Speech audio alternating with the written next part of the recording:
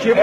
پاکستان ټول یو پاکستان دی پاکي کفایل او څنګه او پنجاب بلستان نه دی دا حکومت چې کوم دی مرکزي حکومت دا په پنجاب باندې صرف ځان پاکستان نه غني موږ ټول پاکستانیانو و ډېر غټ مزاحمت یې خبرې کوو چې پښتون سړی په اټک باندې تېرېږي خو هغه بې عزتي کېږي چا نه کمیس لېږي خو پولیس یې راښوي او چا نه په څوکو بسل شي دا توهین دی ولې پښتون توهین دی ولې قوم ټول مسلمانانو توهین دی پاکستان صرف په پنجاب پورې مربوط نه دی پاکستان ټول پاکستانیانو و دوی نه په مخکې ولاړ یو په سرحد سرحدونه خپلو هېواد ته چې کوم دی کشمیر ازادوو او چې کومه هم ازاد کړی دی موږ ازاد کړی دی دا صرف چې کوم دی په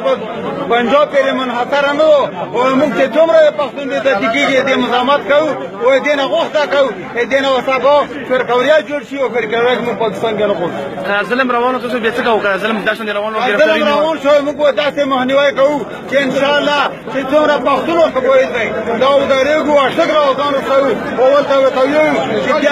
بیا دغه نه خو بیا ته ابراهیم کې پرخونه کې پنځګین دي دې چې موږ ټول څه راګو او شریرونه تنا دا خبره وردي یو هغه چې پښتون سره ختم تشارو شي ختم تشارو ته نه جوړ شي دغه خبره نه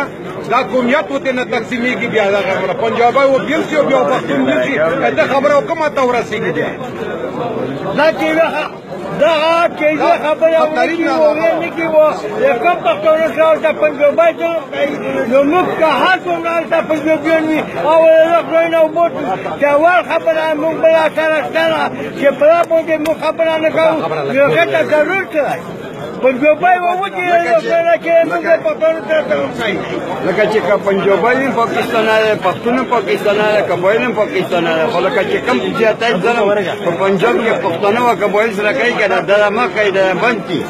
موږ پاکستانیان یو موږ پاکستان په خاور سره ورکو پاکستان خاور موږ امر نه ستلې وار واته دي پنجاب کې پښتون سره ظلم شوی پښتون کې پنجاب کې پښتون سره ظلم کوي دا ما کوي دا باندې پاکستان عمر له موږ ټلای او نن یې کټو نن مې تړلو بیا یې کټو بیا یې کټو دا خو را موږ موږ په باندې سرونه